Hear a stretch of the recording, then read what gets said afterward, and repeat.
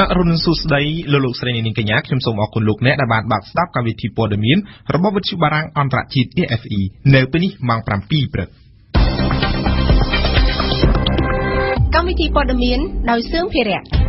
បកកណ្ដាលអំណាចបើកមហាសន្និបាតវិសាមញ្ញរៀបចំយុទ្ធសាស្ត្រថ្មីសម្រាប់ការបោះឆ្នោតខាងមុខកញ្ញាកមនុវិទ្យាថាគណៈបកសង្គ្រោះជាតិនឹងរស់ឡើងវិញដើម្បីចូលរួមការបោះឆ្នោតជាតិនៅខែកក្កដា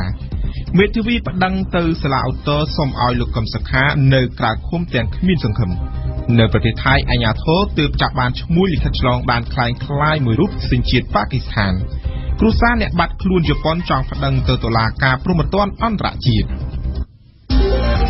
RFI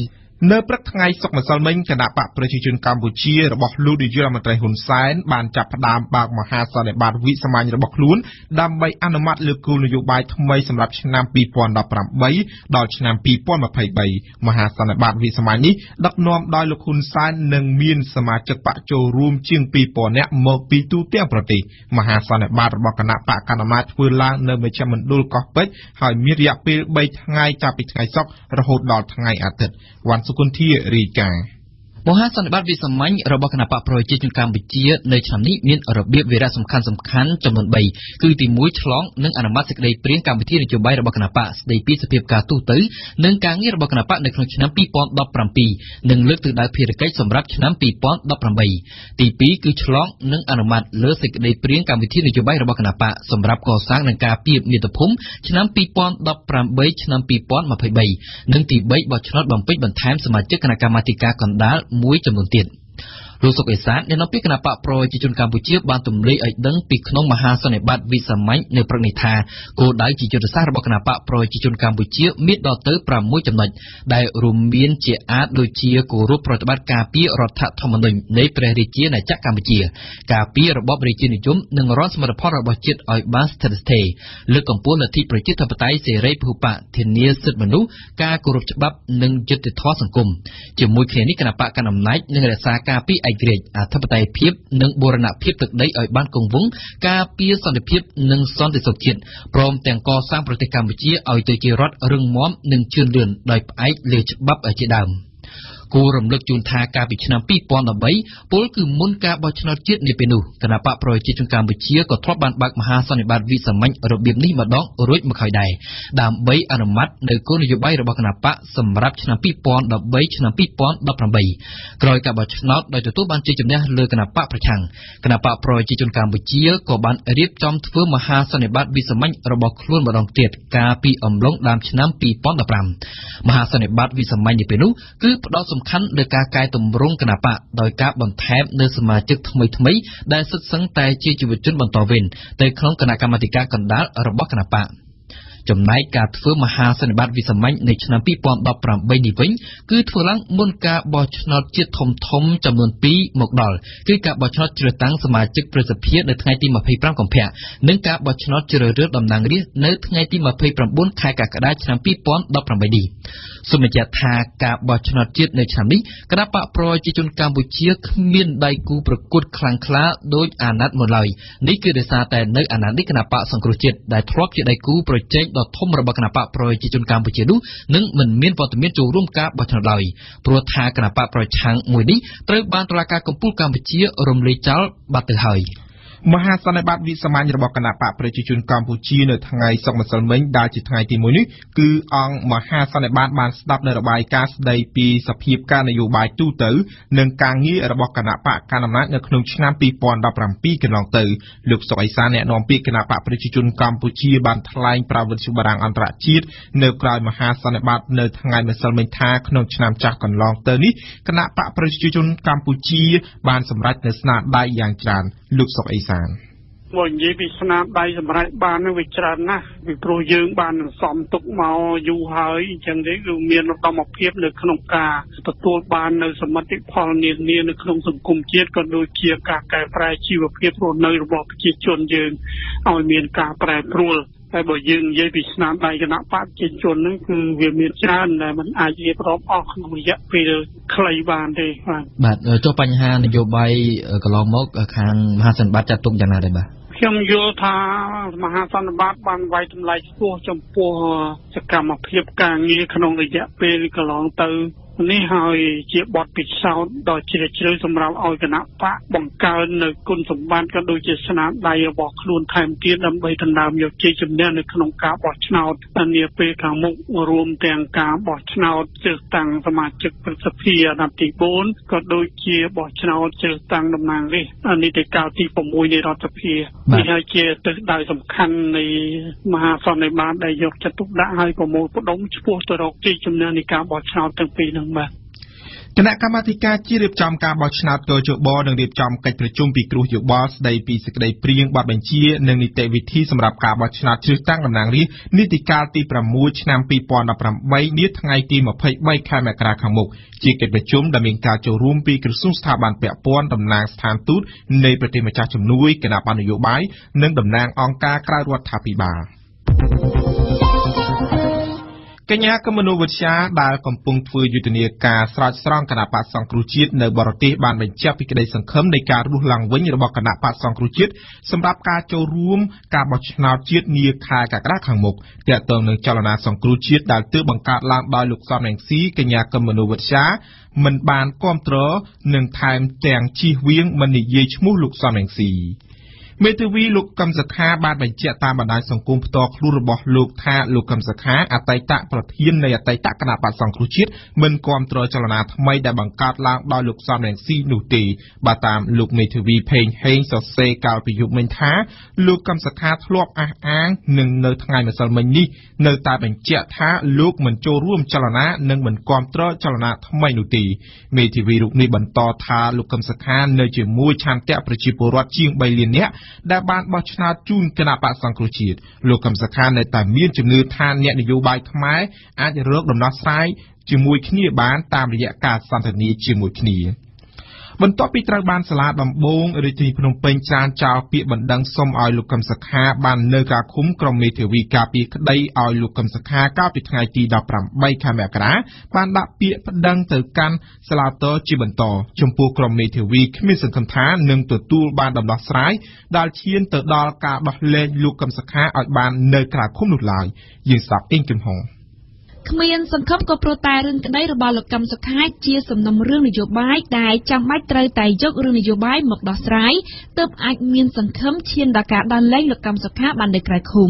នេះគឺជាការអះអាងរបស់លោកហែមសុជាតិមេធាវីម្នាក់ក្នុងចំណោមមេធាវីការពីក្តីលោកកឹមសុខាឯទៀតលោកហែមសុជាតិអះអាងទៀតថាត្បិតតែគ្មានសង្ឃឹមនឹងទទួលបានដំណោះស្រាយតែអ្វីដែលក្រុមមេធាវីកំពុងធ្វើគឺបំពេញទៅតាមនីតិវិធីតាមផ្លូវច្បាប់តែប៉ុណ្ណោះ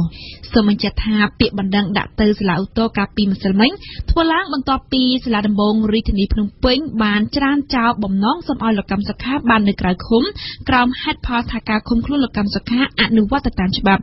នេះមិនមែនជារឿងថ្មីទេសម្រាប់មេធាវីដែលត្រូវបានស្ថាប័នអនុវត្តច្បាប់គ្រប់ជាន់ថ្នាក់បន្តច្រានចោលពាក្យបណ្ដឹងនានាពាក់ព័ន្ធនឹងលោកកម្មសុខានោះគេនៅចាំបានថាពាក្យបណ្ដឹងសូមឲ្យតុលាការទម្លាក់បទចោទប្រកាន់ពីទោសក្បត់ជាតិក៏ត្រូវបានតុលាការច្រានចោលជាបន្តបន្ទាប់រួចហើយដែរបើតាមមេធាវីស្ថានភាពសុខភាពលោកកម្មសុខាជួបបញ្ហាខ្លះស្របពេលដែលសេរីភាពនៅខាងក្រៅពន្ធនាគារវិញលោកកម្មសុខារងការឃ្លាំមើលគ្រប់ជំហានគួររំលឹកថាលោកកឹមសុខាត្រូវបានតុលាការឃុំខ្លួនបណ្ដោះអាសន្នកាលពីខែកញ្ញាឆ្នាំ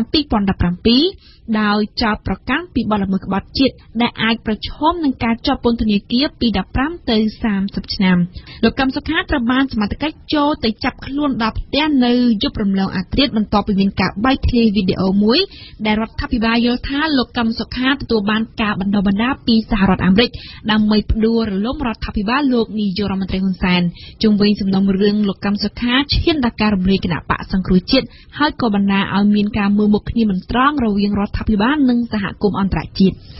តកតនៅលើកុំសខាដែរចៅក្រមស៊ើបសួរនៃសាលាដំបងរាជធានីភ្នំពេញបានសម្រេចមិនអនុញ្ញាតឲ្យក្រុមអតីតតំណាងរាស្ត្រដឹកនាំដោយលោកម៉ៅមូនីវ៉ាន់ចូលជួបសួរសុខទុក្ខលោកកឹមសុខានៅពន្ធនាគារត្រពាំង plong នៅថ្ងៃទី19ខែមករាម្សិលមិញឡើយបាទតាមលិខិតចុះថ្ងៃទី17មករាមូលហេតុដែលតុលាការក្រុងភ្នំពេញមិនអនុញ្ញាតឲ្យអតីតតំណាងរាស្ត្រគណៈបកសង្គ្រោះជាតិចូលសួរសុខទុក្ខដោយសារតែសំណុំរឿងកំពុងស្ថិតនៅក្នុងចំណាត់ការស៊ើបសួរនិងស្រាវជ្រាវប្រមូលភស្តុតាងនានាហេតុនេះការចូលជួបឬសួរសុខទុក្ខឲ្យបានតែមេធាវីនិងក្រុមគ្រួសារជនត្រូវចោទដែលមិនទាក់ទិននៅក្នុងសំណុំរឿងនេះតែប៉ុណ្ណោះ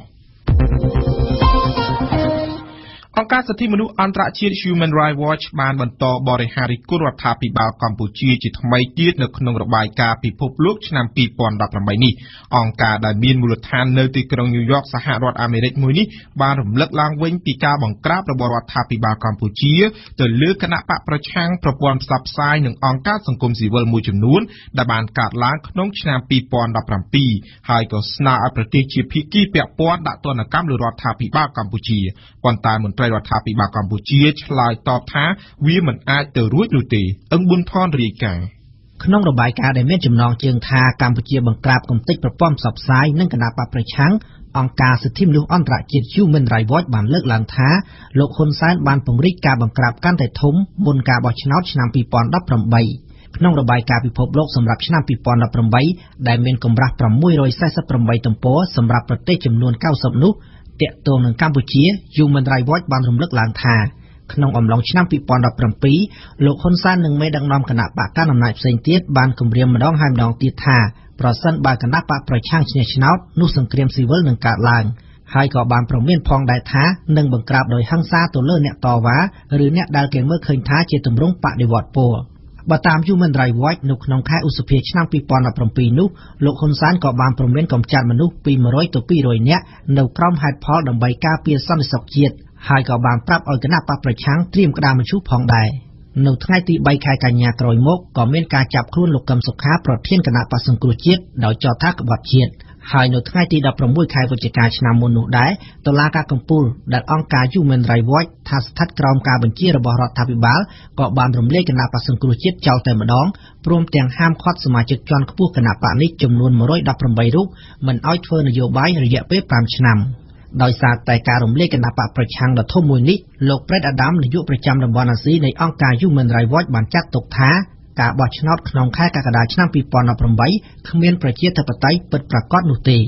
ក្រៅពីបញ្ហាគណៈបកប្រឆាំងអង្គការ Human Rights Watch ក៏បានរំលឹកឡើងវិញពីការដកហូតអាជ្ញាប័ណ្ណពីវិទ្យុចំនួន3និងការបិទកាសែត Cambodia Daily ផងដែរអង្គការឃ្លាំមើលសិទ្ធិមនុស្សអន្តរជាតិមួយនេះក៏បានស្នើទៅបណ្ដាប្រទេសជាភាគីហត្ថលេខីនៃកិច្ចព្រមព្រៀងទីក្រុងប៉ារីសចូលរួមដាក់ទណ្ឌកម្មនិងមានវិធានការចាំបាច់នានាមកលើរដ្ឋាភិបាលកម្ពុជាដើម្បីស្ដារលទ្ធិប្រជាធិបតេយ្យឡើងវិញ។ ក៏ប៉ុន្តែអ្នកនាំពាក្យគណៈបកប្រជាជនកម្ពុជាលោកសុកអេសានបានទាត់ចោលនូវរបាយការណ៍នេះហើយបានបញ្ជាក់យ៉ាងខ្លីថារាល់ការស្នើឲ្យដាក់ទណ្ឌកម្មពីសំណាក់អន្តរជាតិមកលើរដ្ឋាភិបាលកម្ពុជាគឺមិនអាចទៅរួចនោះទេលោកបានហៅអ្នកស្នើទាំងនោះថាជាពួកឧទាមក្រៅច្បាប់ អភិបាលខេត្តកំពង់ចាមគ្រោងដើមគ្រាប់ត្នោតប្រមាណ5000ដើមលើខ្នងទំនប់បឹងវៀមខេត្តកំពង់ចាមក្នុងខែមីនាខាងមុខនេះលោកគូចម្រើនអភិបាលខេត្តកំពង់ចាមបានបញ្ជាក់ថាការតាមដានត្នោតនេះគឺដោយសារតែរុក្ខជាតិនេះតំណាងឲ្យជាតិសាសន៍ខ្មែរហើយលោកគិតថាថ្ងៃក្រោយត្នោតទាំងនេះអាចនឹងតាក់ទាញភ្ញៀវទេសចរថែមទៀតផងក្នុងប្រទេសកម្ពុជាដើមត្នោតភាគច្រើនមានដុះនៅក្នុងខេត្តកំពង់ស្ពឺខេត្តកំពង់ឆ្នាំងជាដើមហើយវាបានផ្ដល់នៅប្រយោជន៍សំខាន់សំខាន់ជាច្រើនច្រើនដល់ប្រជាពលរដ្ឋខ្មែរមិនតែប៉ុណ្ណោះដើមត្នោតក៏ត្រូវបានគេចាត់ទុកថាជារុក្ខជាតិដែលមានអាយុកាលយូរអង្វែងនិងមានភាពរឹងមាំខុសប្លែកពីរុក្ខជាតិនានាសូមស្ដាប់ប្រសាសន៍របស់លោកគូចម្រើនបាទមានមូលហេតុទេវានឹងដោយសារតែដើមត្នោតវាជារុក្ខជាតិនឹងតំណាងឲ្យជាតិសាសន៍របស់យើងហើយដែលខ្ញុំបានពិនិត្យឃើញថាទំនប់បឹងវាមនឹងក្រសួងសុនទិនទឹកបានកសាងនៅជួសជុលនៅទំនប់ពធា យ៉ាងល្អស្អាតមានខ្នងទំនប់មានជើងទំនប់ទៅយ៉ាងត្រឹមត្រូវដូច្នេះវាឃើញថាជើងទំនប់នេះយើងអាចដាំកប់ដាំនៅក្របខ្នងពីបានបាទហើយគេក៏យើងប្រមុខក្រុមថាគិតគឺថានឹងរៀបចំដើម្បីដាំដើមស្នោតនៅទីនោះវាអាចនាំបានការទាក់ទាញបន្ថែមសម្រាប់ថ្ងៃក្រោយក៏បំរើឲ្យការទេសចរផងបើឲ្យ ប្រជាពលរដ្ឋរបស់យើងកសិកររបស់យើងថ្ងៃក្រោយគាត់ចង់ប្រើប្រាស់តែផលពីដើមស្នោតដែលយើងធ្លាប់តែដឹងឮថាវាមានគុណប្រយោជន៍និងអត្ថប្រយោជន៍ជាច្រើនហ្នឹងវាអាចបំរើឲ្យកសិកររបស់យើងបានបាទបាទអាដាមចាប់ផ្ដើមដាំនៅពេលណាដែរបាទអឺតាមអាកាសធាតុកអាកាសធាតុឆ្នាំនេះគឺអាចនឹងនៅខែ4ចាប់ផ្ដើមមានទឹកភ្លៀងតាមការផ្ដល់ឲ្យរបស់អាដាមលឹមគៀនហោ ដូច្នេះខ្ញុំគិតថាប្រហែលជាល្អបំផុតគឺចុងខែ3យើងកប់តាមទៅគឺទឹកភ្លៀងធ្លាក់មកវាជួយបង្កឲ្យការដុះលូតលាស់នឹងបានល្អ នៅប្រទេសថៃឈ្មោះទុច្ចរិតធ្វើលិខិតឆ្លងដែនคล้ายៗដ៏សំខាន់មួយរូបសញ្ជាតិប៉ាគីស្ថានទើបត្រូវបានអាជ្ញាធរថៃចាប់ខ្លួនបាននៅជាទីក្រុងបាងកកលិខិតឆ្លងដែនคล้ายៗជាអាចលិខិតឆ្លងដែនអឺរ៉ុបដែលមានខ្លះប្រហែលជាត្រូវបានពួកជីហាតនៃអង្គការរដ្ឋអ៊ីស្លាមប្រើប្រាស់ទៀតផងនេះបើតាមការជួលដំណឹងរបស់ប៉ូលីសថៃនៅថ្ងៃសុក្រម្សិលមិញនុយបែណាដាតជូនព័ត៌មាននេះ អ្នកទទួលខុសត្រូវរបស់ការិយាល័យអន្តរប្រវេសន៍ថៃមួយរូបបានថ្លែងឲ្យដឹងនៅនាឱកាសសន្និសីទសារព័ត៌មានមួយនៅទីក្រុងបាងកកថាបញ្ហាជួញដូរលិខិតឆ្លងដែនคล้ายៗមានសកម្មភាពតាំងពីជាង10ឆ្នាំកន្លងមកហើយនៅក្នុងប្រទេសថៃឈ្មោះទុច្ចរិតម្នាក់ឈ្មោះ Mohammad Iqbal អាយុ52ឆ្នាំទើបត្រូវបានអាជ្ញាធរថៃចាប់ខ្លួននៅជាយទីក្រុងបាងកកកាលពីថ្ងៃទី14មករាមុននេះជាមួយនឹងលិខិតឆ្លងដែនคล้ายៗសិង្ហបុរី និងឥណ្ឌាក៏ព្រមទាំងឧបករណ៍នានាដែលប្រើប្រាស់សម្រាប់ធ្វើទិដ្ឋាការคล้ายៗដើម្បីចូលទៅក្នុងប្រទេសបារាំងអ៊ីតាលីនិងអេស្ប៉ាញ។ កាលពីប្រមាណថ្ងៃមុននេះរដ្ឋមន្ត្រីការពារជាតិថៃលោកវុងស៊ីវ៉ាន់បានធ្វើការភ្ជាប់ទំនាក់ទំនងរវាងមូហាម៉ាត់អ៊ីក្បាលជាមួយនឹងពួកឈ្មួញធ្វើលិខិតឆ្លងដែនក្លែងក្លាយឲ្យពួកជីហាតអង្គការរដ្ឋអ៊ីស្លាមរដ្ឋមន្ត្រីការពារជាតិថៃបានគូបញ្ជាក់ទៀតថាយោងតាមការអង្កេតរបស់អាជ្ញាធរថៃ ជនទុច្ចរិតអ៊ីបាល់បានជួញដូរលិខិតឆ្លងដែនក្លែងក្លាយឲ្យដល់ក្រុមនានាគ្រប់ប្រភេទពុំមែនតែអង្គការរដ្ឋអ៊ីស្លាមមួយគត់នោះទេ ហើយក៏លុះត្រាណាស់តែមានការបញ្ជាទិញផងដែរ រដ្ឋធានីបាងកកល្បីឈ្មោះខ្លាំងថាជាជំរកធ្វើលិខិតឆ្លងដែនខ្លាំងខ្លាយនិងក៏ផ្ដល់ជំរកឲ្យដល់ពួកជនដែលគេតាមស្វែងរកចាប់ខ្លួនដែរយោងតាមការិយាល័យអន្តរប្រវេសន៍ដដែលលិខិតឆ្លងដែនមួយសន្លឹកត្រូវបានគេលក់ក្នុងតម្លៃតែ200ឬ300ដុល្លារតែប៉ុណ្ណោះនៅក្នុងប្រទេសថៃហើយនារយៈពេលប្រមាណខែចុងក្រោយនេះប៉ូលីសថៃបានបង្កើនសកម្មភាពវាយឆ្មក់មួយជាពីរ ប្រឆាំងនឹងបណ្ដាញឈ្មួញទុច្ចរិតដែលរីករាលដាលយ៉ាងសម្បើមនៅក្នុងប្រទេសថៃចាប់តាំងពីច្រើនទសវត្សរ៍មកហើយកាលពី4ឆ្នាំមុននេះជនជាតិប៉ាគីស្ថានពីររូបនិងស្ត្រីម្នាក់ត្រូវបានចាប់ខ្លួននៅក្នុងប្រទេសថៃដែរពីបទធ្វើលិខិតឆ្លងដែនក្លែងក្លាយលិខិតដែលខុតគង់ជាអាចឲ្យដល់ក្រុមមួយដែលមានទំនាក់ទំនងជាមួយក្រុមឧទាមអៃកាយដានិងក៏ជាអ្នកទទួលខុសត្រូវនៅក្នុងអំពើភេរវកម្មនៅទីក្រុងម៉ាឌ្រីតក្នុងឆ្នាំ2004 គ្រួសារជប៉ុនមានជំនឿជាក់ថាសាច់ញាតិរបស់ខ្លួនដែលបាត់ខ្លួនទំនងជាត្រូវបានកូរ៉េខាងជើងចាប់ចម្រិតហើយដូច្នេះហើយបានជាពួកគេមានបំណងពឹងពាក់ទៅតុលាការព្រហ្មទណ្ឌអន្តរជាតិឲ្យជួយធ្វើការស៊ើបអង្កេតនិងថ្កោលទោសប្រមុខដឹកនាំកូរ៉េខាងជើងនេះបើតាមការអះអាងរបស់សមាគមក្រុមគ្រួសាររងគ្រោះនៅថ្ងៃសុក្រទី19មករាម្សិលមិញយើងស្ដាប់អៀងសុកមិញ ក្រុមគ្រួសាររបស់ជនបាត់ខ្លួនព្រមទាំងអ្នកគាំទ្រនឹងដាក់ពាក្យបណ្ដឹងទៅតុលាការព្រហ្មទណ្ឌអន្តរជាតិនៅសប្តាហ៍ក្រោយដើម្បីស្នើសុំឲ្យស្ថាប័ននេះធ្វើការថ្កោលទោសមេដឹកនាំកូរ៉េខាងជើងគីមចុងអ៊ុននិងដើម្បីឲ្យតុលាការបើកអង្កេតសំណុំរឿងសង្ស័យថារបបព្យុងយ៉ាងបានចាប់ជំរិតជនជាតិជប៉ុនអស់យ៉ាងហោចណាស់100នាក់នេះបើតាមការលំអិតរបស់អ្នកទទួលខុសត្រូវសមាគមសមាគមនៃជនរងគ្រោះបានប៉ាន់ស្មានថាមានជនជាតិបាត់ ជប៉ុនបាត់ខ្លួនសរុបប្រមាណ470នាក់អាចមានពាក់ព័ន្ធទៅនឹងរបបដឹកនាំកូរ៉េខាងជើងក្នុងពង្រៀនបណ្ដឹងអ្នកនិពន្ធបានរៀបរាប់ថាមានចំណាប់ធ្នួលជនជាតិជប៉ុនមិនតិចទេដែលនៅមានជីវិតរស់រាននៅឡើយនិងមានសេរីភាពយ៉ាងតិចតួចបំផុតនេះបើតាមការគូបញ្ជាក់បន្ថែមរបស់ភ្នាក់ងារព័ត៌មានជប៉ុន Kyoto ចំណែកឯរដ្ឋាភិបាលវិញបានប្រកាសសហការយ៉ាងស្អិតល្មួតជាមួយនឹងក្រុមគ្រួសារជនរងគ្រោះនៅក្នុងគំនិតដូចផ្ដើមប្តឹងទៅតុលាការព្រហ្មទណ្ឌអន្តរជាតិនេះ។ សូមបញ្ជាក់ថាកូរ៉េខាងជើងធ្លាប់បានសារភាពកាលពីឆ្នាំ2002ថាមានការចាប់ខ្លួនជនជាតិជប៉ុនចំនួន13រូបដើម្បីឲ្យពួកគេបង្រៀនភាសានិងវប្បធម៌ជប៉ុនដល់ពួកចារកិច្ចរយកូរ៉េខាងជើងក៏ប៉ុន្តែរដ្ឋាភិបាលជប៉ុនរាប់ឃើញមានដល់ទៅ17នាក់ឯណោះមួយខែក្រោយការសារភាពចំណាប់ធ្នូជប៉ុន5នាក់បានទទួលការអនុញ្ញាតត្រឡប់មកប្រទេសវិញឯ8នាក់ផ្សេងទៀតបានបាត់បង់ជីវិតតែព្យុងយ៉ាងមិនបានផ្ដល់ភស្តុតាងមកជាមួយទេ របាយការណ៍អង្គការសហប្រជាជាតិស្តីអំពីបញ្ហាសិទ្ធិមនុស្សនៅកូរ៉េខាងជើងប្រចាំឆ្នាំ2014បានស្របឃើញថាព្យុងយ៉ាងចាប់ជំរិតមនុស្សអស់ប្រមាណ20ម៉ឺននាក់មកពីប្រទេសជាច្រើនភាគច្រើនជាជនជាតិកូរ៉េខាងត្បូងដោយត្រូវព្យុងយ៉ាងខ្ទប់ខាំងពេលប្រទេសត្រូវបំបែកជាពីរនៅក្នុងអំឡុងពេលសង្គ្រាមពីឆ្នាំ1950ដល់ឆ្នាំ1953 រាប់រយអ្នកផ្សេងទៀតក្នុងនោះខ្លះជាស្ត្រីជនជាតិលីបង់ថៃម៉ាឡេស៊ីសិង្ហបុរីរូម៉ានីនិងបារាំងផងត្រូវបានចាប់ខ្លួនឬក៏បាត់ខ្លួននៅក្នុងពេលធ្វើដំណើរទៅប្រទេសកូរ៉េខាងជើងនាអំឡុងពេលពីឆ្នាំ1960ដល់ឆ្នាំ1980នេះបើតាមរបាយការណ៍របស់អង្គការសហប្រជាជាតិដដែល នារយៈពេលថ្មីថ្មីចុងក្រោយនេះទៀតកូរ៉េខាងជើងបានថែមទាំងចាប់ខ្លួនពលរដ្ឋខ្លួនឯងជាច្រើនអ្នកទៀតនៅក្នុងប្រទេសកូរ៉េខាងត្បូងនិងប្រទេសចិនថ្ងៃប្រហ័ស18មករារដ្ឋសភាអ៊ុយក្រែនបានអនុម័ត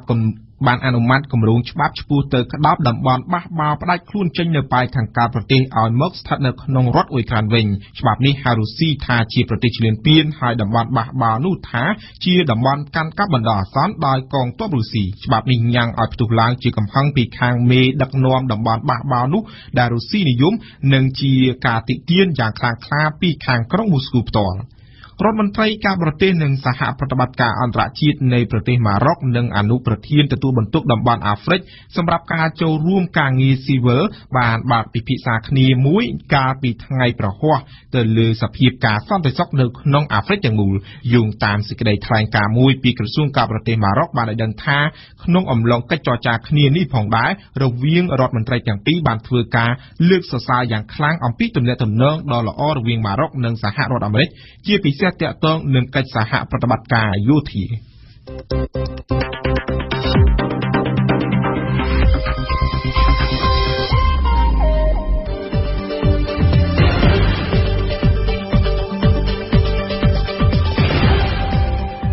វិទ្យុបារាំង RFI ភ្នំពេញ92 MHz សៀមរាប92 MHz បាត់ដំបង ក្រុងព្រះសីហនុនិងកំពង់ចាម94.5 MHz លោកអ្នកនាងកំពុងស្ដាប់កម្មវិធីព័ត៌មានរបស់វិទ្យុបារាំងអន្តរជាតិ AFE ជាបន្តលោកអ្នកនាងនឹងបានស្ដាប់ដំបូងគឺជានីតិបច្ចុប្បន្នភាពកម្ពុជាប្រចាំសប្ដាហ៍បន្តមកគឺជានីតិព្រឹត្តិការណ៍កម្ពុជាប្រចាំថ្ងៃរបស់អង្គប៊ុនថនស្ដីអំពីការប្រស៊ូនៅក្រៅប្រទេសអតីតបកប្រឆាំងថាបានផលតែបកកណ្ដាលអំណាចថាគ្មានប្រសិទ្ធភាពចុងបញ្ចប់នៃកម្មវិធីព័ត៌មានរបស់យើងគឺជានីតិបទយកការរៀបចំជូនដោយអង្គប៊ុនថនស្ដីអំពីអ្នកអានកាសែតធ្លាក់ចុះគណៈព័ត៌មានតាមបណ្ដាញសង្គមវីលោក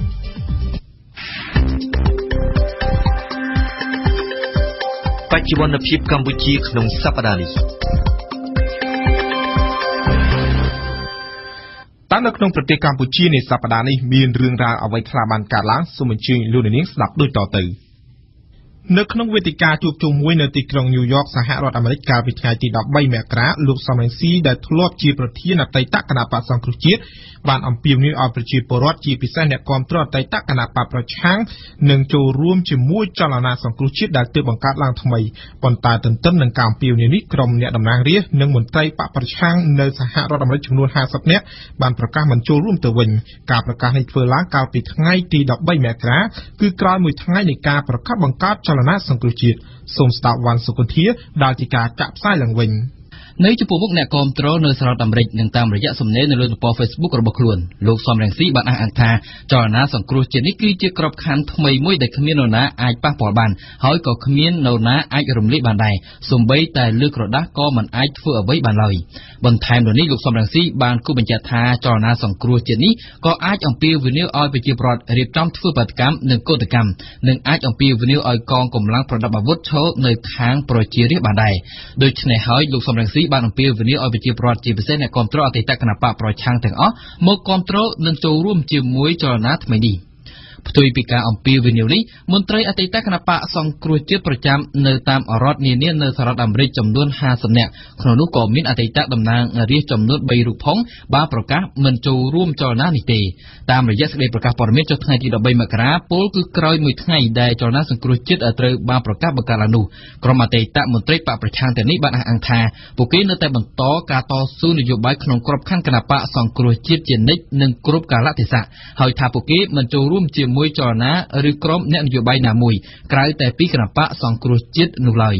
លើពីនេះទៅទៀតពួកគេក៏បានអំពាវនាវដល់សមាជិកនៃគណបកសង្គ្រោះជាតិនិងប្រជាពលរដ្ឋទាំងអស់ឲ្យបន្តគាំទ្រគណបកសង្គ្រោះជាតិ ចំពោះលោកសំរងស៊ីវិញលោកថាចលនាសង្គ្រោះជាតិនិងគណបកសង្គ្រោះជាតិគឺតែមួយទេហើយចលនានេះនឹងផ្ដល់ភាពកក់ក្ដៅនិងសេចក្តីសង្ឃឹមឡើងវិញដល់សកម្មជននិងអ្នកគាំទ្រគណបកសង្គ្រោះជាតិទាំងអស់លោកសំរងស៊ីបញ្ជាក់ទៀតថាចលនាសង្គ្រោះជាតិនឹងប្រមូលកម្លាំងអ្នកគាំទ្របានច្រើនជាងមុនទៅទៀតពីព្រោះថារូបភាពជាចលនាអាចទទួលសមាជិកពីមជ្ឈដ្ឋានផ្សេងផ្សេងដូចជាសង្គមស៊ីវិលជាដើមបើតាមលោកសំរងស៊ីដដែលចលនាសង្គ្រោះជាតិនេះនឹងរៀបចំក្បាលម៉ាស៊ីនរបស់ខ្លួនដែលភាគច្រើនមកពីគណបកសង្គ្រោះជាតិដើម្បីធានាឲ្យមានការទាក់ទងគ្នាប្រកបដោយសេរីភាព ដោយចំហទូលំទូលាយនិងដោយរលូនហើយក៏អាចធ្វើសេចក្តីសម្រេចប្រកបដោយតម្លាភាពប្រសិទ្ធភាពនិងរហ័សទាន់ពេលវេលាផងដែរ។សូមបញ្ជាក់ថាចលនាសង្គ្រោះជាតិត្រូវបានប្រកាសបង្កើតឡើងដោយមន្ត្រីអតីតបកប្រឆាំងចំនួន9រូបកាលពីថ្ងៃទី12មករាក្នុងគោលបំណងទាមទារយកគណបកសង្គ្រោះជាតិមកវិញទាមទារឲ្យដោះលែងលោកកឹមសុខានិងអ្នកទោសរបស់អតីតគណបកប្រឆាំងផ្សេងទៀតចលនានេះត្រូវបានអ្នកនាំពាក្យគណៈបកកណ្ដាលអំណាចចាត់ទុកថាជាអង្គការចាត់តាំងឧទាមនិយមក្រៅច្បាប់ក៏ប៉ុន្តែលោកអេងឆៃអៀងដែលជាសហស្ថាបនិកម្នាក់នៃចលនាសង្គ្រោះជាតិបានអះអាងថាចលនានេះនឹងមិនវិវត្តខ្លួនទៅជាអង្គការបដិវត្តឬក៏คล้ายខ្លួនទៅជាគណៈបកថ្មីជំនួសគណៈបកសង្គ្រោះជាតិក៏អត់ដែរ បើតាមលោកអេងឆៃអៀងនៅពេលណាដែលរាល់ការទៀមទាទាំងអស់សម្រេចបាននោះចលនានេះនឹងរំលែកខ្លួនឯងដោយស្វ័យប្រវត្តិតែម្ដងលោកអ្នកនេះកំពុងស្ដាប់ការសរុបព្រឹត្តិការណ៍កម្ពុជាប្រចាំសប្ដាហ៍ RFI លោកនាយករដ្ឋមន្ត្រីហ៊ុនសែននៅថ្ងៃទី14ខែមករាបានប្រកាសថាការរក្សាតំណែងជានាយករដ្ឋមន្ត្រីរយៈពេល33ឆ្នាំមកនេះមិនមែនដោយសារចុងកណ្ដុងនិងអំពើផ្ដាច់ការនោះទេបើតាមលោកនាយករដ្ឋមន្ត្រីការកាន់តំណែងរបស់លោកគឺបានដោយសារតែប្រជាពលរដ្ឋជាអ្នកបោះឆ្នោតឲ្យសូមជម្រាបជូនថានៅថ្ងៃទី14ខែមករាគឺជាខួប33ឆ្នាំគត់ដែលលោកនាយករដ្ឋមន្ត្រីហ៊ុនសែនត្រូវបានមហាសន្និបាតគណៈបកប្រជាជនកម្ពុជាលើកទី5បោះឆ្នោតតែងតាំងជានាយករដ្ឋមន្ត្រីកម្ពុជានៅថ្ងៃទី14មករាឆ្នាំ1985បន្ទាប់ពីលោកច័ន្ទស៊ីដែលជានាយករដ្ឋមន្ត្រីបានទទួលមរណភាពលោកហ៊ុនសែនបានអះអាងនៅថ្ងៃទី14មករាថាគណៈបកប្រជាជនកម្ពុជារបស់លោកនឹងបន្តឈ្នះការបោះឆ្នោតទៀតនៅឆ្នាំ2018ខាងមុខដែលធ្វើឡើងដោយមិនមានការចូលរួមពីគណៈបកប្រឆាំងនោះទេ RFI លោកនាយករដ្ឋមន្ត្រីហ៊ុនសែននៅថ្ងៃទី15មករាបានចេញមុខអះអាងថាមានការបកស្រាយខុសជុំវិញការលើកឡើងរបស់លោកតាក់ទងនឹងបន្លែគីមីការបំភ្លឺរបស់ប្រមុខរដ្ឋាភិបាលនាពេលនេះធ្វើឡើងក្រោយលោកបាននិយាយពីលើករួចមកហើយអំពីវត្តមានបន្លែគីមីនិងក្រោយពេលមានការរិះគន់ពីសាធារណជន។ លោកញែប៊ុនចិនអ្នកនាំពាក្យគណៈបកហ្វុនស៊ិនប៉ិចបានបដិសេធថាគណៈបកហ្វុនស៊ិនប៉ិចមិនបានតែងតាំងមហាសេដ្ឋីចិនឲ្យធ្វើជាអនុប្រធានគណៈបកទេយ៉ាងណាក៏ដោយជនជាតិចិនធម្មតាម្នាក់នឹងក្លាយជាទីប្រឹក្សាសេដ្ឋកិច្ចរបស់សម្ដេចក្រមព្រះនរោត្តមរណរដ្ឋការបដិសេធនេះធ្វើឡើងនៅព្រឹកថ្ងៃច័ន្ទទី15មករាបន្ទាប់ពីមានការផ្សព្វផ្សាយព័ត៌មានថាគណៈបកហ្វុនស៊ិនប៉ិចតែងតាំងអ្នកចំនួនចិនឈ្មោះចាក់គីសែ ជាអនុប្រធានគណៈបករាជានិយមមួយនេះ RFI កម្ពុជានៅមានលទ្ធភាពច្រើនណាស់ដែលអាចខ្ចីលុយយកមកអភិវឌ្ឍប្រទេសបានហើយបំណុលបច្ចុប្បន្នរបស់កម្ពុជាមិនមានហានិភ័យខ្ពស់ទេនេះបើតាមមន្ត្រីបច្ចេកទេសនៃក្រសួងសេដ្ឋកិច្ចនិងហិរញ្ញវត្ថុបានថ្លែងនៅក្នុងវេទិកាសាធារណៈមួយកាលពីថ្ងៃទី15ខែមករាចំណែកអ្នកវិភាគសេដ្ឋកិច្ចកម្ពុជាវិញបានបង្ហាញការគាំទ្រចំពោះគំនិតនេះអតីតតំណាងរាស្ត្រនិងមន្ត្រីជាន់ខ្ពស់នៃអតីតគណៈបក្សសង្គ្រោះជាតិនៅថ្ងៃទី16ខែមករាបានអះអាងថាគណៈបកនេះមិនមានការបែកបាក់ផ្ទៃក្នុងអ្វីនោះទេជាការអះអាងក្រោយពីការបង្កើតចលនាសង្គ្រោះជាតិដោយលោកសំរងស៊ីនិងអតីតមន្ត្រីគណៈបកនេះមួយចំនួនខណៈមានមន្ត្រីនៃអតីតគណៈបកប្រឆាំងមួយនេះមួយចំនួនទៀតប្រកាសមិនចូលរួម។ លោកសខេងឧបនាយករដ្ឋមន្ត្រីរដ្ឋមន្ត្រីក្រសួងមហាផ្ទៃនឹងពិនិត្យទស្សនវិជ្ជាផ្លូវច្បាប់ទៅលើចលនាសង្គ្រោះជាតិដែលបង្កើតឡើងដោយលោកសំរងស៊ីអតីតប្រធានគណៈបកសង្គ្រោះជាតិនេះបើតាមការថ្លែងឲ្យដឹងនៅក្រៅពិធីបញ្ចប់សន្និបាតបុកសរុបលទ្ធផលការងារប្រចាំឆ្នាំ2017និងលើកទិសដៅផែនការសកម្មភាពឆ្នាំ2018នាព្រឹកថ្ងៃទី16ខែមករា អ្នកនាំពាក្យរដ្ឋសភាជាតិនៅថ្ងៃពុធទី17ខែមករាបានប្រតិកម្មទាត់ចោលទាំងស្រុងលើរបាយការណ៍សង្កេតរដ្ឋសភានិងតំណាងរាស្ត្រឆ្នាំទី4នៃរដ្ឋសភានីតិកាលទី5ឆ្នាំ2017ដោយវាតម្លៃថាប្រសិទ្ធភាពរបស់រដ្ឋសភាត្រូវបានបន្តធ្លាក់ចុះជាងឆ្នាំ2016របាយការណ៍របស់គណៈកម្មាធិការដើម្បីការបោះឆ្នោតដោយសេរីនិងយុត្តិធម៌នៅកម្ពុជាហៅកាត់ថា Confrel បានបង្ហាញថាសកម្មភាពស្ទើរគ្រប់ផ្នែកនៅក្នុងរដ្ឋសភាក្នុងឆ្នាំ2017នេះគឺធ្លាក់ចុះព្រមទាំងមានលាយឡំដោយផលប៉ះពាល់អវិជ្ជមាន និងអយុត្តិធម៌ធ្ងន់ធ្ងរចំពោះសម្លេងម្ចាស់ឆ្នោតប៉ុន្តែសម្រាប់រដ្ឋសភាអ្វីគ្រប់យ៉ាងគឺបានធ្វើតាមដំណើរនៃកិច្ចព្រមព្រៀងនយោបាយព្រមទាំងមិនដើរឃ្លាតពីគោលការណ៍ច្បាប់របស់ប្រទេសនោះឡើយសូមស្ដាប់ស៊ុងសុភារីដែលជាការចាក់ផ្សាយឡើងវិញ លោកលេងពេញឡុងអ្នកនាំពាក្យរដ្ឋសភាជាតិបានប្រាប់វិទ្យុបារាំងនៅព្រឹកថ្ងៃទី17មករាថារបាយការណ៍របស់អង្គការ Confrel មិនមានឯករាជ្យនិងគ្មានមូលដ្ឋានគ្រឹះគ្រប់គ្រាន់ដើម្បីអាចវិតម្លៃពីប្រសិទ្ធភាពរបស់រដ្ឋសភានោះទេតាមលោកលេងពេញឡុងរដ្ឋសភាក្នុងនីតិកាលទី5នៅឆ្នាំ2017គឺបានប្រព្រឹត្តទៅដោយរលូនព្រោះសមាជិកម្នាក់ៗមិនបានរំលោភបំពានច្បាប់ដូច្នេះប្រសិទ្ធភាពរបស់រដ្ឋសភាគឺគ្មានការធ្លាក់ចុះអ្វីទាំងអស់ ក៏ជំរាបជូនថាកាលពីដើមខែមករាឆ្នាំ2018នេះ Confrel បានចេញផ្សាយនៅរបាយការណ៍មួយពីការសង្កេតរបស់ខ្លួនជុំវិញប្រសិទ្ធភាពនិងសកម្មភាពរបស់រដ្ឋសភាជាតិក្នុងឆ្នាំ2017តាមការវិតម្លៃដោយផ្អែកលើការពិនិត្យជាក់ស្ដែង Confrel មើលឃើញថាតំណាងរាស្ត្រនៃគណៈបកកណ្ដាលអំណាចបានព្រួយផ្ដើមនិងសម្រាប់ជាឯកបកក្នុងការធ្វើវិសោធនកម្មច្បាប់ស្ដីពីគណៈបកនយោបាយរហូតដល់មានការរំលាយគណៈបកសង្គ្រោះជាតិដែលនេះជារូបមន្តថ្មីដែលធ្វើឲ្យប៉ះពាល់យ៉ាងអយុត្តិធម៌ដល់សម្លេងម្ចាស់ឆ្នោតតាមរយៈការបែងចែកអាសនៈសភារបស់តំណាងរាស្ត្របកសង្គ្រោះជាតិទៅចែកដល់បកដតីដែលមិនបានជាប់ឆ្នោតលើពីនេះក៏មានការសង្កេតឃើញថាការអនុម័តលើសេចក្តីព្រាងច្បាប់និងសេចក្តីស្នើវិសោធនកម្មច្បាប់ដែលមានចំនួន17លើកគឺត្រូវបានអនុម័តដោយសម្លេងឯកបៈដោយការធ្វើពហិការរបស់គណៈបក្សសង្គ្រោះជាតិនិងដោយគ្មានការជជែកពិភាក្សាគ្នាចំពោះសេចក្តីព្រាងឬសេចក្តីស្នើច្បាប់មួយចំនួន ប៉ុន្តែសម្រាប់លោកលេងពេញឡុងទោះបីជាឯកបៈឬពហុបកក៏វាមិនមែនជាបញ្ហាអ្វីលើការអនុម័តសេចក្តីព្រាងច្បាប់នីមួយៗនោះដែរពីព្រោះថាច្បាប់ទាំងនោះសុទ្ធតែបានគិតគូរពីផលប្រយោជន៍របស់ប្រជាពលរដ្ឋរួចរាល់អស់ទៅហើយ។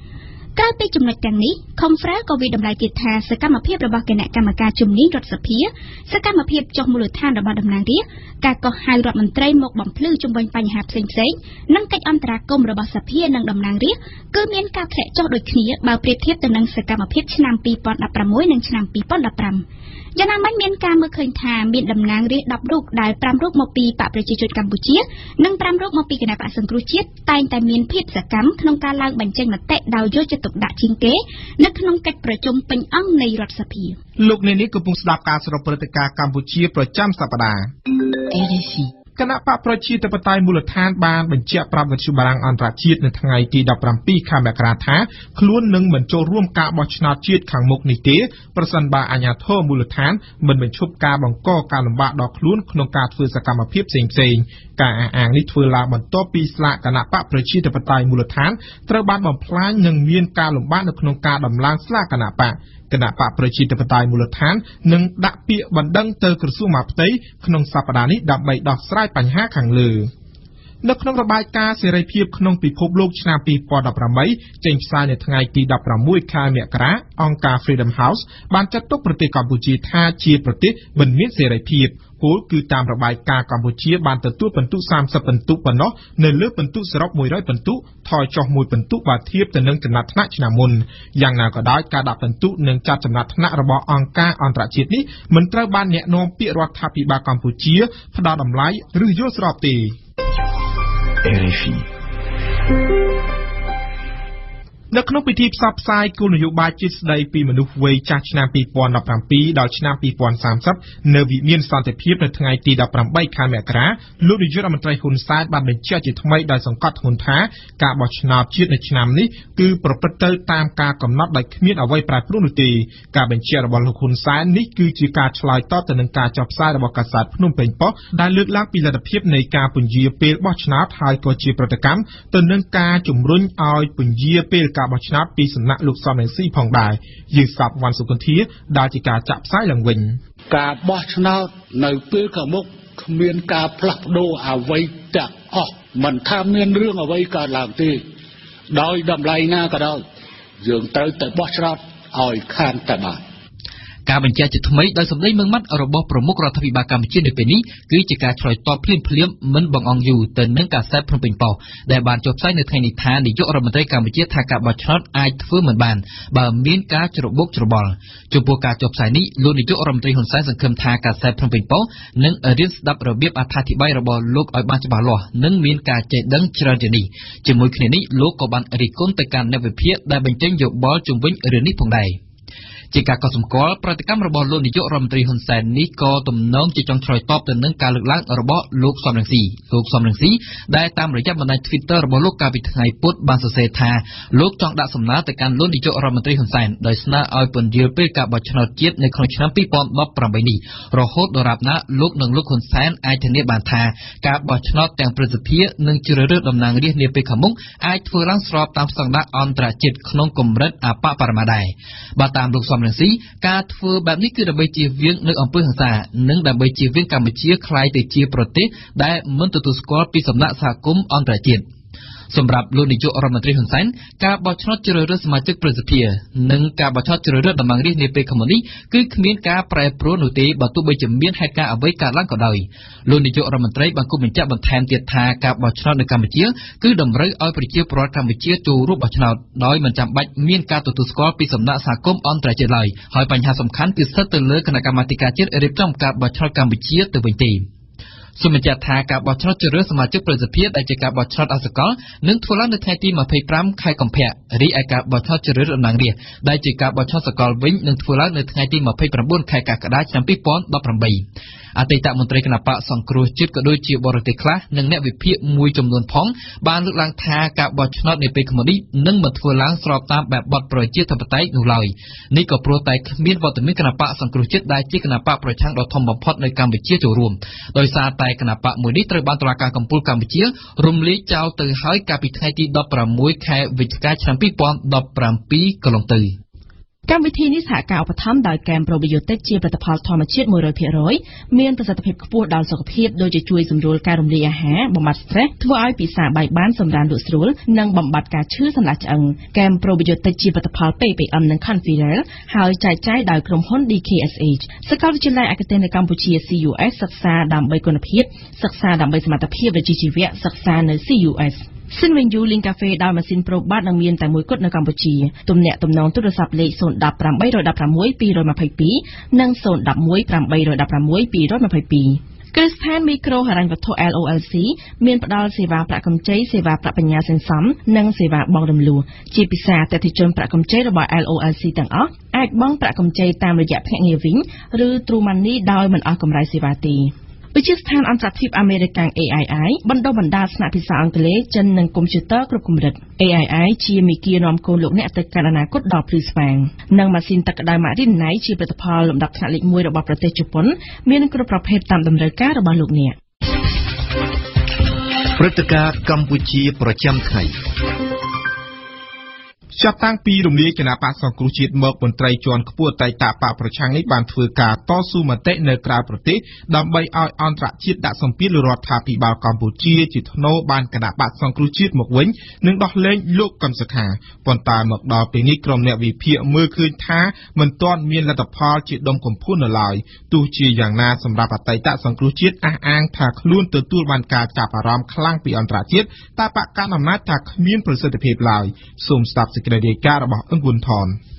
កញ្ញាកឹមមនោវិជ្ជាលើកឡើងអំពីសកម្មភាពការងាររបស់គណៈបក្សសង្គ្រោះជាតិនៅឯក្រៅប្រទេសនាពេលកន្លងមកនេះ។ចាយើងបានជួបជាមួយនឹងមន្ត្រីក្រសួងការបរទេសជាន់ខ្ពស់របស់ប្រទេសបារាំងដើម្បីលើកឡើងពីការបំពេញកិច្ចស្មារតីកិច្ចព្រមព្រៀងទីក្រុងប៉ារីសដោយរដ្ឋាភិបាលលោកហ៊ុនសែនតាក់ទងទៅនឹងការចាប់ខ្លួនលោកប្រធានគណៈបកសង្គ្រោះជាតិកឹមសុខាក៏ដូចជាការរំលាយគណៈបកសង្គ្រោះជាតិនិងបញ្ហាសិទ្ធិមនុស្សមួយចំនួនទៀត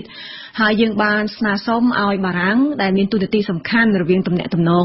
ប្រទេសកម្ពុជាជាមួយនឹង EU នឹងបារាំងគាត់ជាប្រទេសមួយដែលមានទូនាទីសំខាន់ដើម្បីស្វែងរកដំណោះស្រាយដើម្បីឲ្យគាត់លើកពីបញ្ហាទាំងអស់នោះជាមួយនឹងរដ្ឋាភិបាលលោកហ៊ុនសែនដើម្បីមានដំណោះស្រាយទាន់ពេលវេលាសម្រាប់ការបោះឆ្នោតឲ្យបានត្រឹមត្រូវសេរីនិងយុត្តិធម៌នៅខែ7ខាងមុខនេះអ្វីទៅជាចំណាយរបស់គាត់ចំពោះកញ្ញាបារាំងមានការចាប់អារម្មណ៍យ៉ាងខ្លាំងហើយបារាំងសន្យាថាគាត់នឹងប្រឹងប្រែងឲ្យអស់ពីលទ្ធភាពគាត់ក្នុងនាមគាត់ជាប្រទេសបារាំងមួយហើយក៏ក្នុងនាមគាត់ជាសមាជិកមួយនៅក្នុងសហភាពអឺរ៉ុបផងដែរនៅក្នុង EU ផងដែរដើម្បីជំរុញយ៉ាងណាឲ្យរដ្ឋាភិបាលលោកហ៊ុនសែនត្រឡប់មកកែប្រែស្ថានភាពនយោបាយយើងឲ្យត្រឡប់ទៅរកសុភាពដើមវិញដើម្បីធានាឲ្យបានអ្វីនៅដែលយើងហៅថារបបសេរីពហុបកពិតប្រាកដនៅក្នុងរបបប្រជាធិបតេយ្យផ្ទុយពីការលើកឡើងនេះលោកសុកអេសានអ្នកនាំពាក្យគណៈបកប្រជាជនកម្ពុជាបានអះអាងថាអន្តរជាតិមិនអាចដាក់សម្ពាធមកលើរដ្ឋាភិបាលកម្ពុជាបានឡើយ អន្តរជាតិលែងចាប់អារម្មណ៍ជាមួយគាត់ពីមុនហាក់ដូចជាកក្រឹកកក្រែងណាស់ទាំងអាមេរិកទាំង EU ឥឡូវនេះ EU អាមេរិកឈប់និយាយឬកម្ពុជាតែម្ដងអញ្ចឹងទេបានតែយើងឃើញកញ្ញាកឹមមនោវិជ្ជាដែលគាត់ទៅរត់ទៅអាមេរិករត់ទៅ EU ហើយទីបំផុតរត់ទៅដល់អង្គការសហជីវជាតិទៀតក៏តែឥឡូវសួរថាបានលទ្ធផលអីអង្គការសហជីវជាតិខ្ញុំថាតាំងពីដើមមកថាគេមិនលូកដៃចូលកិច្ចការផ្ទៃក្នុងរបស់ប្រទេសជាសមាជិកទេកញ្ញាកឹមមនោវិជ្ជា កន្លងមកយើងឃើញថាសហភាពអឺរ៉ុបបានដកការជួយ EU បានដកជំនួយទៅលើកោជបដោយនេះមានន័យថាយ៉ាងម៉េចមានន័យថាគេយល់ឃើញថាស្ថានភាពសពថ្ងៃនេះការបោះឆ្នោតមិនអាចធ្វើបានត្រឹមត្រូវសេរីនិងយុត្តិធម៌ហើយចំពោះសហរដ្ឋអាមេរិកវិញយើងឃើញថាគាត់បានដកការជំនួយទៅលើការបោះឆ្នោតផងដែរហើយបន្តទៅទៀតនោះគាត់បានបិទទឹកការទៅលើមន្ត្រីកម្ពុជាមួយចំនួនហើយខ្ញុំជឿជាក់ថាសហភាពអឺរ៉ុបក៏ដូចជាសហរដ្ឋអាមេរិកនឹងមានជំហានបន្តបន្តបន្តបន្តទៀតដរាបណាស្ថានភាពប្រទេសកម្ពុជាមិនកែប្រែឲ្យមានលទ្ធិប្រជាធិបតេយ្យសេរីពហុបកនោះសម្រាប់អ្នកវិភាគវិញការតស៊ូមតិរបស់អតីតគណៈបកសង្គ្រោះជាតិនៅឯក្រៅប្រទេសគឺជាជំរើសមួយដែលត្រូវតែធ្វើប៉ុន្តែវាមិនទាន់មានលទ្ធផលជាដុំកំភួននោះឡើយលោកបណ្ឌិតមាសនេះជាអ្នកតាមដានស្ថានភាពនយោបាយកម្ពុជាបច្ចុប្បន្នជាការយើងឃើញរបស់ខ្ញុំអ្វីដែលសង្គ្រោះជាតិធ្វើវាក៏ជា ជំរើសមួយផ្សេងទៀតដែលគ្រោះជាតិត្រូវតែមានធម្មតានៅក្នុងការធ្វើនយោបាយគេមិនដែលមានផែនការតែមួយទេគេត្រូវតែមានផែនការមួយពីរឬ3ដែលត្រូវត្រៀមទុកបើមួយវាមិនសូវមានប្រសិទ្ធភាពគេធ្វើមួយទៀតបើមួយទៀតមិនមានទេគេនឹងធ្វើមួយទៀតអាចមានខ្ញុំនិយាយថាជាផែនការកខក្រណា បាទអញ្ចឹងសម្រាប់អ្នកនយោបាយឆ្លាតវៃគេមិនដែលមានកម្រិតសមួយទេហើយទុកឲ្យចាំតតែមួយហ្នឹងមិនដំណើរការបានពីរោមួយទៀតគេអត់ធ្វើអញ្ចឹងទេគេត្រូវត្រៀមលក្ខណៈខ្ញុំគិតថាគណៈបកនៅតែគណៈបកធម្មតានេះក៏គេមានគេមិនដែលមានតែមួយទេបាទជាមួយគ្នានោះលោកជាងសុធារាមន្ត្រីអង្គការឃ្លាំមើលការបោះឆ្នោតមួយហៅកាត់ថា Confrel ក៏សម្គាល់ដែរថាគឺយ៉ាងណាវាអាចជាការតស៊ូមតិដោយសន្តិភាពមួយដែលឲ្យមានការបោះឆ្នោតមួយប្រព្រឹត្តទៅដោយសេរី និងយុទ្ធសាស្ត្រនិងការចូលរួមពី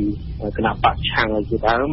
ឬក៏អ្នកណាងរិះឬក៏សមាជិកគណៈបកដែលត្រូវបានបិទសិទ្ធិដោយទុនយោបាយទាំង100នាក់ជាងជាដើមនេះជាក្រុមគណៈបកឆាំងគាត់កំពុងតែធ្វើឲ្យអាចមានការគ្រប់គ្រងពីសភាអឺរ៉ុបអាចគ្រប់គ្រងពីសង្គមអន្តរជាតិតែយើងយើងមើលពីចំពោះរបស់រដ្ឋាភិបាលឬរដ្ឋាភិបាលគឺថាមកដល់ពេលនេះយើងឃើញមិនមានសេណារីយ៉ូ បន្ទន់អិរិយាបថណាមួយឬក៏សេណារីយ៉ូដើម្បីដំណោះស្រាយឈ្នះឈ្នះទាំងអស់គ្នាណាមួយទេយើងឃើញថាខាងក្រុមគណៈបកប្រឆាំងក៏នៅតែបន្តព្យាយាមតស៊ូមតិតព្យាយាមទៅពីកើតចលនាអីផ្សេងផ្សេងក្នុងបំផែមួយដើម្បីទាមទារឲ្យមាន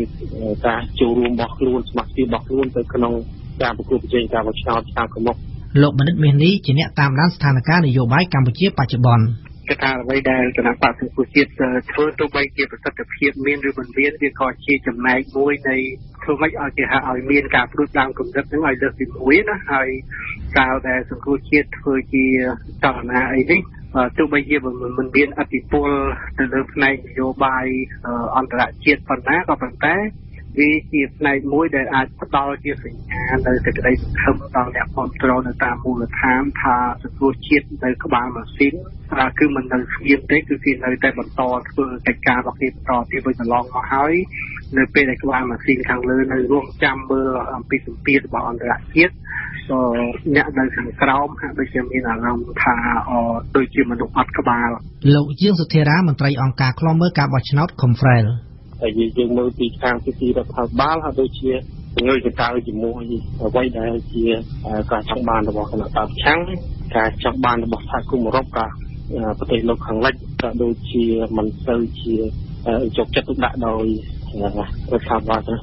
កាន់ណាយចាប់តាំងពីមានការរំលាយគណៈបក្សសង្គ្រោះជាតិមក សហរដ្ឋអាមេរិកនិងសហភាពអឺរ៉ុបបានប្រតិកម្មជាបន្តបន្ទាប់ដោយមានការផ្តាច់ជំនួយមកកាន់គូជបរបស់កម្ពុជានិងជំរុញឲ្យរដ្ឋាភិបាលកម្ពុជាដោះលែងលោកកឹមសុខា និងអនុញ្ញាតឲ្យគណៈបក្សសង្គ្រោះជាតិដំណើរការឡើងវិញកញ្ញាកឹមមនោវិជ្ជា ពួកយើងខ្ញុំជាថ្នាក់ដឹកនាំគណៈបកសង្គ្រោះជាតិមិនទទួលស្គាល់ការរំលាយគណៈបកសង្គ្រោះជាតិទេហើយអន្តរជាតិក៏មិនទទួលស្គាល់ការរំលាយនឹងដែរដូច្នេះហើយបានជាគេតែងទទូចទាមទារឲ្យមានដាក់គណៈបកសង្គ្រោះជាតិមានជីវិតឡើងវិញដូច្នេះយើងមិនទទួលស្គាល់ការរំលាយនឹងហើយទី2ទៀតយើងទាំង118រូបគ្មានសិទ្ធិធ្វើនយោបាយម្យ៉ាងទៀតរួមទាំងកញ្ញាផងរួមទាំងរូបខ្ញុំផងដែរហើយម្យ៉ាងទៀតមិនសំខាន់ឈ្មោះគណៈបកទេបើ រដ្ឋាភិបាលរំលាយគណៈបកសង្គ្រោះជាតិដោយបំពេញទៅហើយហើយបើឲ្យមនុស្សទៅដែរពួកខ្ញុំទៅដែរទៅបង្កើតគណៈបកថ្មីមិនមានន័យអីទេពីព្រោះសំខាន់គឺយើងត្រូវការសិទ្ធិសេរីភាពក្នុងការធ្វើនយោបាយពេញលេញដោយមិនមានគណៈបក2 3 4 10ក៏ដោយបើសិនជារដ្ឋាភិបាលអាចបង្កើតច្បាប់ចង់រំលាយពេលណាក៏បានអញ្ចឹងបានន័យថារបបប្រជាធិបតេយ្យសេរីភូប៉ាអត់មានពិតប្រាកដនៅក្នុងប្រទេសកម្ពុជាហើយពួកអ្នកប្រឆាំងមិនបាច់ប្រើឈ្មោះគណៈបកណាពួកអ្នកប្រឆាំងគ្មានសិទ្ធិធ្វើនយោបាយដោយគ្មានគំនាបពី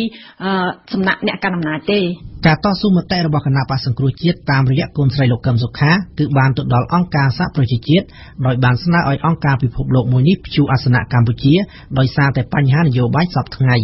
ក៏ប៉ុន្តែលោកសុកអេសានអ្នកនាំពាក្យគណៈបកប្រជាជនកម្ពុជាថាគ្មានប្រសិទ្ធភាពនោះឡើយ។ អង្គការសហជីវជាតិខ្ញុំថាតាំងពីដើមមកថាគេមិនលូកដៃចូលកិច្ចការផ្ទៃក្នុងរបស់ប្រទេសជាសមាជិកទេហើយក៏មនោវិជ្ជាវាយតម្លៃខ្ញុំថាខ្ញុំអត់យល់ដឹងពីការងារការបរទេសឥឡូវដែលគាត់យល់ដឹងការងារការបរទេសនេះសួរថាបានលទ្ធផល EU ទៅអង្គការសហជីវជាតិនេះគេយកចិត្តទុកដាក់យ៉ាងម៉េចឥឡូវទៅអង្គការជាតិជាអង្គការកំពូលឥឡូវនេះគាត់ងាកមករកអាស៊ានវិញអាស៊ានជាអង្គការតំបន់ឥឡូវអង្គការតំបន់នេះក៏មានធ្វើសកម្មភាពនៅក្រោមធម្មនុញ្ញរួមមួយធម្មនុញ្ញអាស៊ាននេះគឺហាមមិនអោយប្រទេសជាសមាជិកលូកដៃចុកកិច្ចការផ្ទៃក្នុងផងគ្នាជាសមាជិកទេកញ្ញាកឹមមនោវិជ្ជា ចំពោះខ្ញុំខ្ញុំមានសង្ឃឹមយើងនៅមានពេលវេលាហើយពេលវេលាវាខើចវាពិតជាខើចមែនពីមួយថ្ងៃទៅមួយថ្ងៃខើចទៅខើចទៅតែខ្ញុំគិតថាយើងនៅមានពេលវេលាគ្រប់គ្រាន់ដែលអាចកែប្រែស្ថានភាពធ្វើឲ្យការបោះឆ្នោតខែ7ហ្នឹងអាចអាចល្អប្រសើរបានហើយខ្ញុំជឿជាក់ថាអន្តរជាតិក៏កំពុងគណៈបកសង្គ្រោះជាតិបោះឆ្នោតបាននេះជាក្តីសង្ឃឹមរបស់កញ្ញានេះជាក្តីសង្ឃឹមរបស់ខ្ញុំហើយខ្ញុំគិតថាយើងនៅមានពេលយើងមិនទាន់អស់ពេលទេហើយអន្តរជាតិទទួលបរាជ័យវិញគិតយ៉ាងម៉េចអន្តរជាតិក៏គេគិតថានៅមានពេលវេលាដែរហើយបើសិនជាអន្តរជាតិគេដាក់សម្ពាធ មួយជំហានម្ដងមួយជំហានម្ដងហើយគេមិនទាន់ដាក់អស់ទេហើយយើងទាំងអស់គ្នាអត់ចង់រុញឲ្យដល់ហ្នឹងទេនេះជាការខ្ញុំគិតថាជាការមូសារបស់បកកណ្ដាលអំណាចក៏ដូចជារដ្ឋាភិបាលលោកហ៊ុនសែនដែរដែលថាពួកយើងខ្ញុំជំរុញឲ្យមានសម្ពាធមិនមែនទេពួកយើងខ្ញុំជំរុញឲ្យមានដំណោះស្រាយប៉ុន្តែដោយសារអស់លោកមិនមានដំណោះស្រាយបានជាគេចេះតែដាក់សម្ពាធដើម្បីទាញយកដំណោះស្រាយអញ្ចឹងគោលដៅឲ្យគេគោលដៅមិនមែនសម្ពាធទេគោលដៅគឺដំណោះស្រាយ ប៉ុន្តែលោកបណ្ឌិតមេនីយល់ថាខាងនីតិប្រតិបត្តិមានការប្រយ័ត្នប្រយែងជាងខាងនីតិបញ្ញត្តិក្នុងការសម្រេចដាក់ទណ្ឌកម្មលើប្រទេសណាមួយដោយគេត្រូវការពេលវេលាស្វែងយល់សិនគឺគេមិនមានប្រព័ន្ធណាដែលសម្រេចហើយនឹងហើយគេធ្វើស្អែកគេលើកលែងនៅក្នុងករណីអត់សមនៅទីហោថាមានសង្គ្រាម ត្រូវធ្វើសង្គ្រាមអាហ្នឹងគេមិនបានប្រាប់មុនទេគឺគេសម្រេចហើយគឺគេធ្វើតែម្ដងប៉ុន្តែសម្រាប់ករណីនៃការដាក់ទណ្ឌកម្មផ្សេងផ្សេងគឺត្រូវការប្រើពេលវេលាបាទគឺតាមពេលវេលាអាចពី3ខែ6ខែទៅដល់1ឆ្នាំឬក៏រាប់ឆ្នាំទេក៏មានដែរបើតាមប្រមុខរដ្ឋាភិបាលកម្ពុជា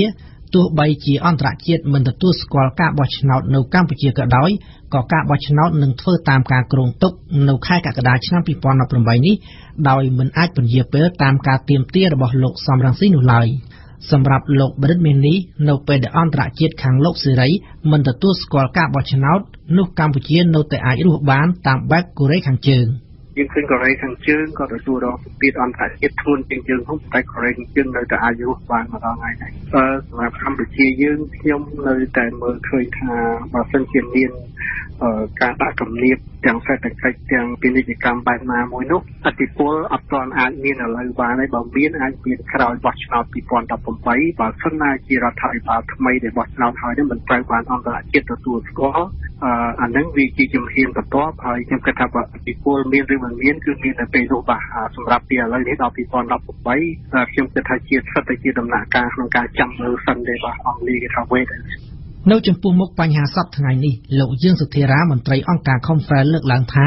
ភាគីទាំងពីរគួរតែបន្ទន់អរិយាប័ត្រចូលគ្នាម្នាក់បន្តិចដើម្បីផលប្រយោជន៍ជាតិមិនមែនតែជាសង្ហយោការព្រមព្រៀងឬក៏ជាការចរចាជាក្នុងនយោបាយណាមួយកើតមានរវាងគណៈបកកណ្ដាលនិងក្រមគណៈបកកិច្ចក្រមគណៈបកឆាំងនោះវាអាចពលិថ្មីក្នុងការដោះស្រាយបញ្ហាពីព្រោះ បញ្ហានេះវាជាបញ្ហានយោបាយអញ្ចឹងមានតែដំណោះស្រាយនយោបាយទេតែវាអាចចេញទៅរួចហើយដំណោះស្រាយនយោបាយត្រូវមើលរសទល់នៃបញ្ហារសទល់នៃបញ្ហានៅកន្លែងណាហើយការសម្បទានគ្នាទៅវិញទៅមកដើម្បីផលប្រយោជន៍ប្រជាពលរដ្ឋខ្មែរទាំងមូលដើម្បីកិច្ចការអនុភាពប្រទេសកម្ពុជាទាំងមូលជៀសវាងនៅហានិភ័យជៀសវាងនៅអ្វីដែលអាចថានឹងកើតឡើងនៅក្នុងមុខជាផលអវិជ្ជមានដល់កម្ពុជានេះគឺថាយើងមានតែពីការដោះស្រាយ ខ្មែរទាំងខ្មែរយល់គ្នាទៅវិញទៅមកឈានចូលមិត្តជំនាញម្នាក់មួយចំនួនអ្នកដើម្បីដោះស្រាយបញ្ហាទេប៉ុន្តែសម្រាប់លោកបណ្ឌិតមាននេះយល់ថាការចរចាទំនងជាមិនអាចទៅរួចនោះទេនៅពេលនេះប្រសិនបើគ្មានសម្ពាធពីអន្តរជាតិខ្ញុំគិតថានៅក្នុងដរាបណាមិនមានអធិពលជាសម្ពាធអីខ្លាំងក្លាឬក៏បើសិនជាគណៈបកប្រឆាំងមិនមានកម្លាំងអីធំធេងទេនោះការចរចាដូចជាមិនទាន់មើលឃើញទេមកដល់ថ្ងៃនេះបាទបត យកការ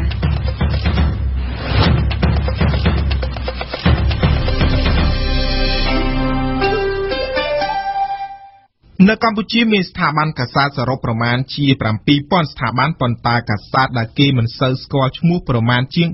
330ត្រូវបានក្រសួងព័ត៌មានសម្រាប់លុបឈ្មោះចោលនៅថ្ងៃទី18ធ្នូថ្មីថ្មីនេះកាសែតទាំងនោះភាគច្រើនជាកាសែតដែលអស់សុពលភាពហើយដែលគេមិនឃើញចេញផ្សាយសោះឡើយ ចំណែកកាសែតដែលនៅបន្តចេញផ្សាយជាទៀងទាត់ប្រចាំថ្ងៃមានមិនដល់10ផងនោះក៏ប្រហែលប្រឈមនឹងការបាត់បង់អ្នកអានជាបណ្ដាបណ្ដាដែរដោយសារតែសារព័ត៌មានពីបណ្ដាញសង្គមវាលុកលឿនរហ័សដូច្នេះសូមស្ដាប់បទយការបស់អឹងមុនថនដូចតទៅដោយសារខ្ញុំអត់យល់ច្បាស់ពីសារព័ត៌មានក៏ប៉ុន្តែខ្ញុំគិតពីដូចផលិតផលមួយចំនួនទៅអាប់ដេតទាន់គេវាមិនអាចនៅអញ្ចឹងរហូតទេ ចឹងមកគាត់ថាបើយើងនឹងអាហ្នឹងបើយើងផលិតទៅវាវាគ្រាន់ថាទីផ្សារវាមិនសូវណាមកគេរកណាលឿនលឿនជាងហើយនៅតាមតូបកាសែតនីមួយៗនៅទីក្រុងភ្នំពេញគេសង្កេតឃើញថាមានកាសែតមិនដល់10ផង បានចេញផ្សាយជាប្រចាំថ្ងៃកាសែតដែលចេញផ្សាយជាទៀងទាត់នោះគឺមានកាសែតភ្នំពេញប៉ុស្តិ៍កាសែតកោះសន្តិភាពរស្មីកម្ពុជា និងកម្ពុជាថ្មីជាដើម លើសពីនេះទៀតក៏មានផងដែរកាសែតភាសាអង់គ្លេសដូចជាកាសែតខ្មែរថាមភ្នំពេញប៉ុស្តិ៍និងកាសែតភាសាចិន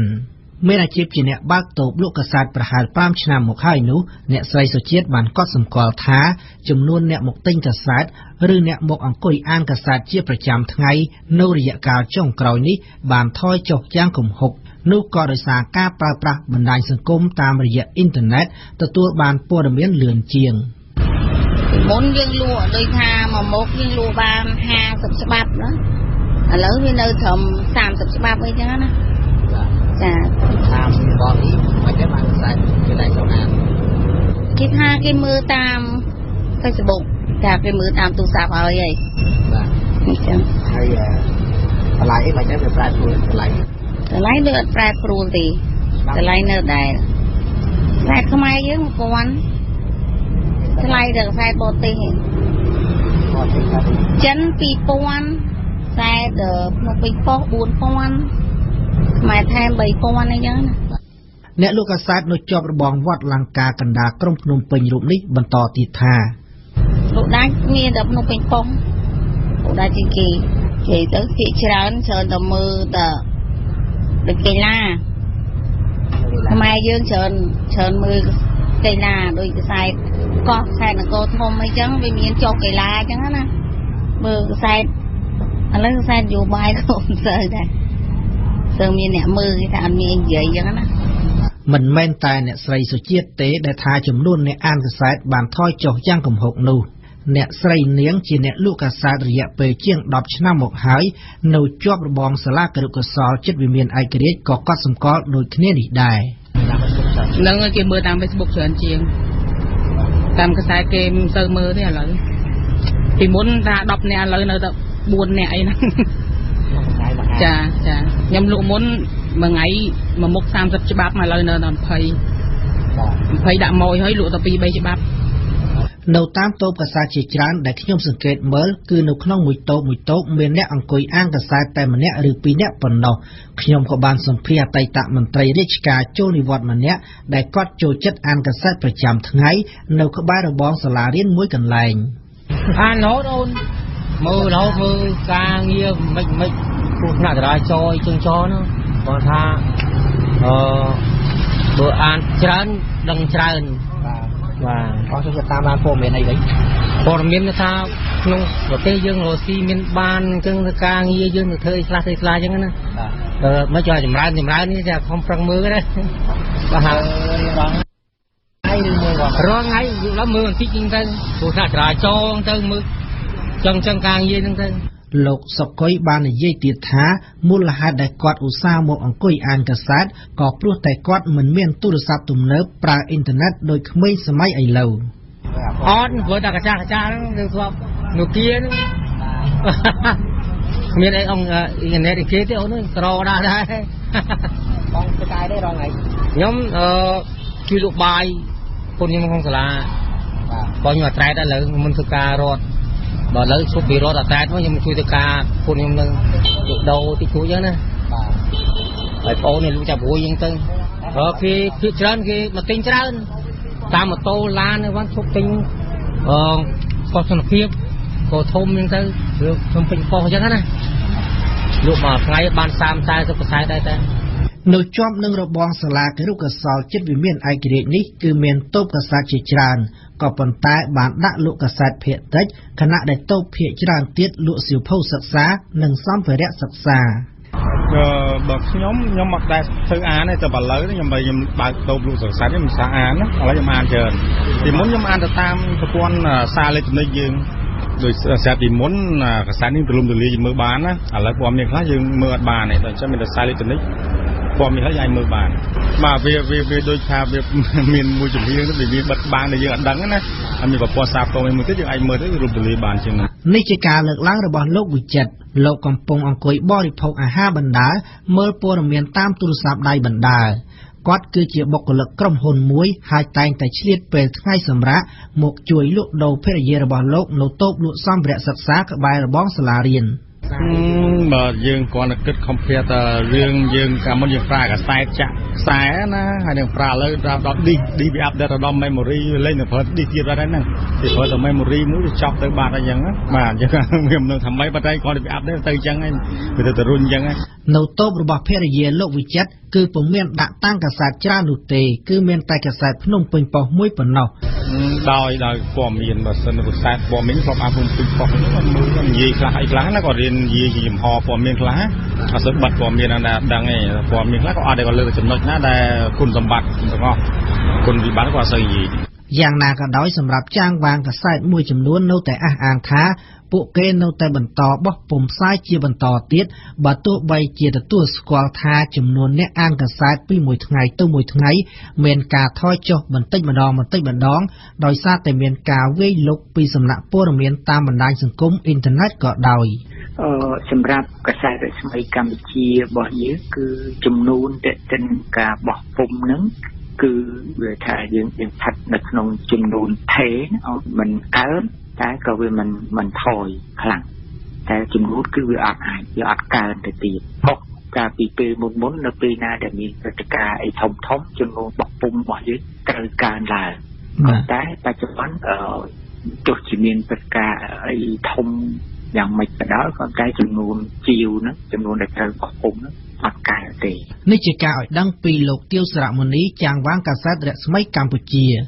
កាសែតរស្មីកម្ពុជាគឺជាកាសែតមួយដែលមានវ័យចំណាស់ជាងគេនៅក្នុងប្រទេសនេះហើយក៏មានការបារម្ភពីការបិទទ្វារដោយសារតែអត់អ្នកអានដែរទៅថ្ងៃមុខដោយសារតែមានការវាយលុកព័ត៌មានតាមប្រព័ន្ធ Digital ជាទូទៅអឺកាសែតបោះពុំយើងកំពុងតែស្ថិតនៅក្នុងហានិភ័យមួយតែដែលយើងដែលទៅប្រឹងប្រែងប្រគួតប្រជែងតែទន្ទឹមហ្នឹងយើងបានព្យាយាមមកពង្រីកមកខាងវិស័យ digital វិញ ឧទាហរណ៍ដូចស្មីកម្ពុជារបស់យើងយើងមាន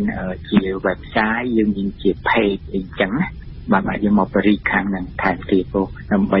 ដើរឲ្យឲ្យសំស្របសម្របខ្លួនទៅតាមបរិយាកាសលោកអ្នកស្ដាប់ជាទីមេត្រីកម្មវិធីព័ត៌មានរយៈពេល1ម៉ោងរបស់វិទ្យុបារាំងអន្តរជាតិនៅព្រឹកនេះបានឈានមកដល់ទីបញ្ចប់ហើយយើងខ្ញុំសូមថ្លែងអំណរគុណចំពោះការតាមដានស្ដាប់របស់អស់លោកអ្នកនាងនៅកម្មវិធីព័ត៌មានរបស់យើងតាំងពីដើមរហូតដល់ចប់ លោកអ្នកនាងនឹងបានស្ដាប់កម្មវិធីព័ត៌មានរយៈពេល1ម៉ោងជាថ្មីម្ដងទៀតនៅវេលាម៉ោង1ដល់ម៉ោង2រសៀលដែលជាការរៀបចំជូនដោយខ្ញុំបាទខ្ញុំសូមអរគុណអង្គវិសាលដែលបានជួយបញ្ជាផ្នែកបច្ចេកទេសនៅពេលនេះខ្ញុំបាទសឿងភិរៈព្រមទាំងសហការីទាំងអស់នៃវិទ្យុបារាំងសូមអរគុណសូមជម្រាបលា